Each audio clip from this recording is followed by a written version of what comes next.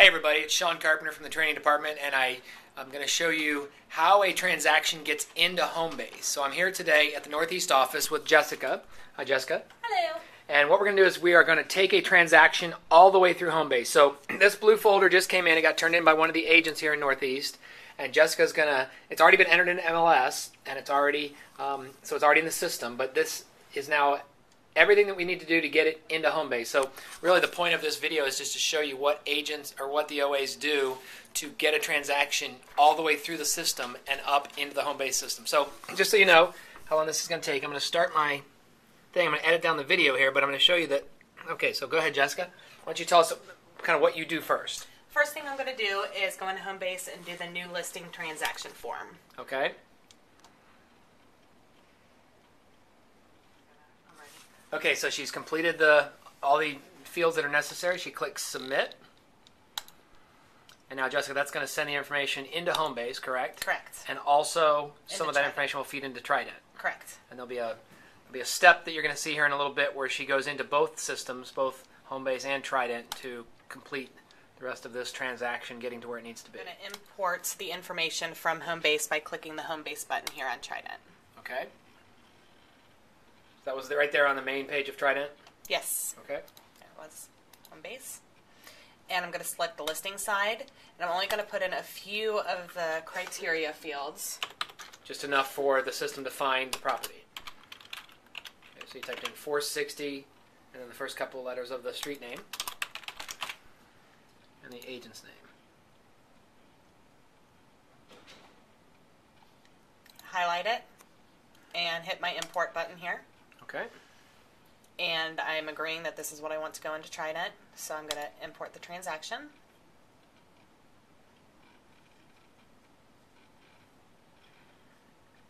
And then there should be only a few additional fields to fill out once you're in Trident. And now I'm going to scan all my documents. Okay, so now we're going to scan. So you're going to take everything from the blue folder, all the paperwork that was turned in, and you're going to run it through the scanner, right? Yes. Now, do you do you do it one sheet at a time, or do you I put do. them all in? I put it I do them one sheet at a time. Okay.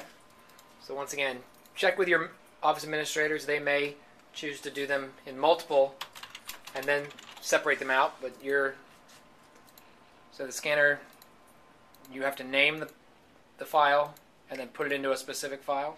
Yes, in our shared drive, we have a folder for Homebase documents, and then in that folder, we make other folders for each different listing or sale or closing that we have, and then I name them appropriately by what I am scanning and putting it into that folder. Now let me ask you a question. Once that information has been scanned and put into Homebase, do you keep that folder on your shared drive or do you No, I delete the delete folder? it. Okay. Once again, managers check with your office administrators to see what their policy is, but we should not be keeping a folder on our shared drive uh, for listings that have been in there for a couple weeks. Once it's in Homebase and Trident, we should be good to go. I'm now going to go into Homebase here. Okay. So now we're going to go into Homebase and actually go find those those uh, pieces we just scanned in and put it into the folder for this transaction. Correct? Yes. And go to the transactions button, and it should find any new transactions, and the newest one I did is Navu right here. Okay. I'll go into deal information, do a link to Trident deal number, put our deal number here. And I'm going to add packets for a listing. Okay, so we're I also add the MLS data changes and the optional listing packet, so I don't have to go back in and add packets because Okay. hopefully they'll get a price change if it doesn't sell right away. Okay, so you're just saving yourself a step here Yes. by doing it now. Okay. And then I'm going to go into the documents and start uploading documents. Okay, so there's a placeholder for each of the documents within the packets that you selected of all the things you just scanned. So you're going to go out and find them on your share drive. You're going out to your Navu drive. Yes. And attaching it by hitting save. Okay, always got to hit save on every one, right? You'll see it upload there. Then going back to current documents. Going to the next one.